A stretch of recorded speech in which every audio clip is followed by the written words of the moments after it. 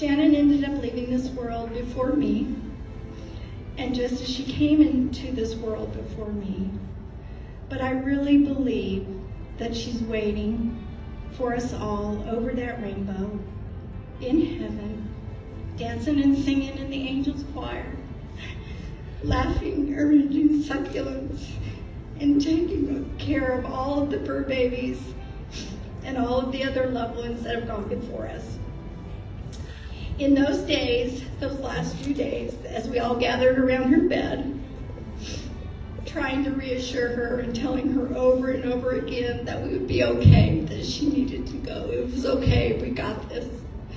But really selfishly, really never wanting her to ever leave. But she showed us all strength, courage, positive spirit, determination up until her very last breath. She is, was, and always will be the best and better part of us. And for the rest of my life's journey, I will strive to be all the things that I love the most about my sweet, precious, amazing sister, Shannon.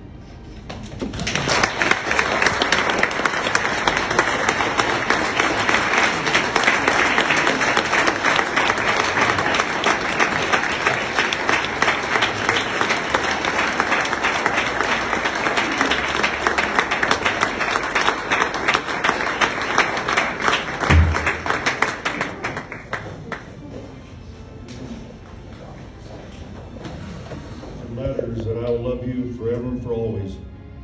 Recently, we were sitting at a, having lunch, and this was not too long ago, and you know we all know what is, is coming. And I said, "You know, you're a pretty lucky girl. You got a guy who's going to love you the rest of your life." And she reached across the table and held my hand with tears in her eyes. She's like, "That's why I love you so much." I'm going to love her the rest of my life too, for sure. Almost done, sorry.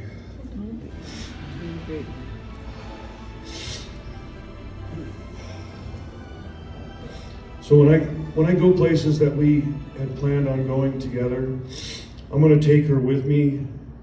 I've got her beautiful ashes in this beautiful uh, tree of life from the Oklahoma City bombing. She just her, one of her favorite things was that tree of life. So I, I got her some of her ashes in here with me. I'm going to take her wherever I go. And she bought me a kayak right before she passed, and I take the kayak out. I take her with me, talk to her, look up into the sky on a beautiful day, paddle around in the water like some kind of big idiot. But you know, I know that she left for me, and I chose to share it with everybody today.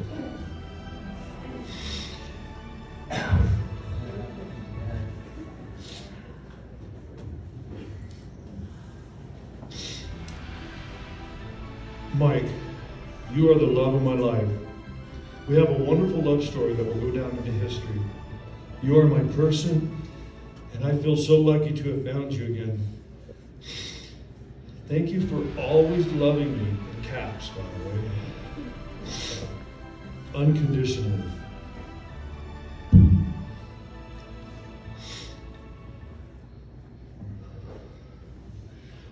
People go a lot of people go through life not finding the true love, which is why I feel blessed to have you as an integral part of my life and my girls' life. They love you. Thank you for being their bonus dad, and please watch over them for me.